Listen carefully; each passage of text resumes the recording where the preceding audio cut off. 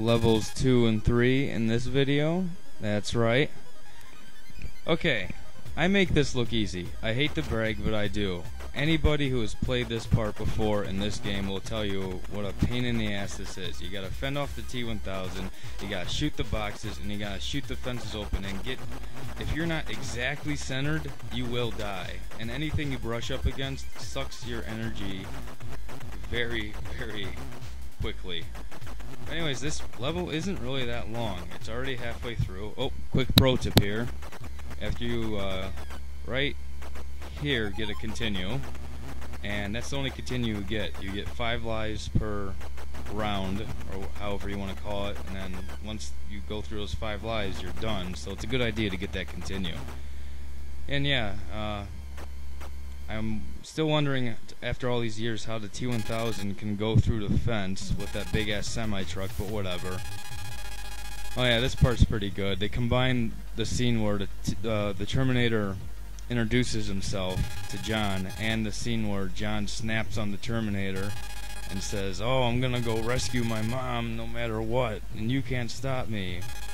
And uh, yeah, in the movie he swears at him, and the way they alter the dialogue is so cheesy. I mean, as a kid, yeah, I knew they weren't gonna put the swear words in there, but uh, I don't know. It it just comes off as cheesy, and you know, and Schwarzenegger just you know it actually looks really good there. That's probably the only uh, still picture that I feel is accurate and actually looks good. So here we go. Look, I'm gonna go get my mom. You wanna come along with me? That's fine. Now listen to me very carefully, okay? You're not a Terminator anymore. You got that? You can't kill people. What? Just say, I swear not kill anyone or whatever. I swear. I will not kill anybody. No. Get your ass to Mars. I know it's the wrong movie.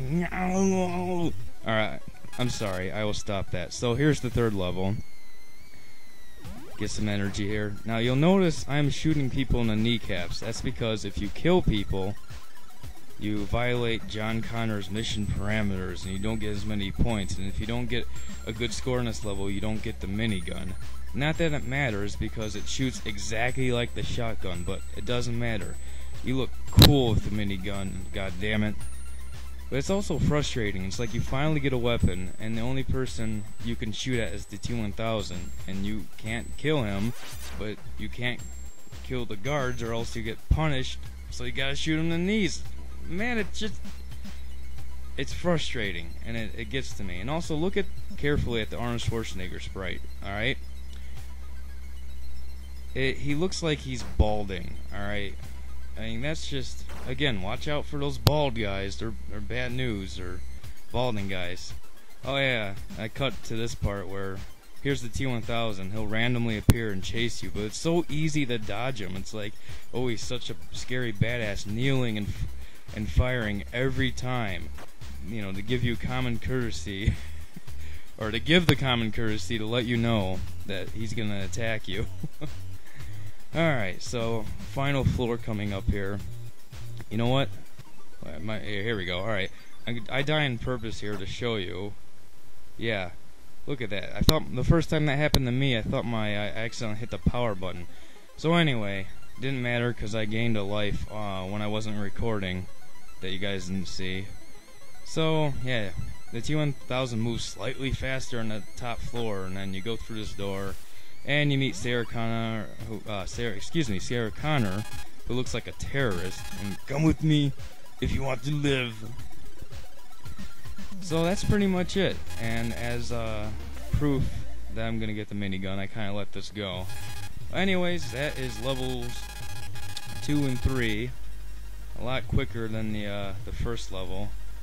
And my next video will be the Assault of Cyberdyne Systems, which is actually kind of a cool level, despite how bad this game is.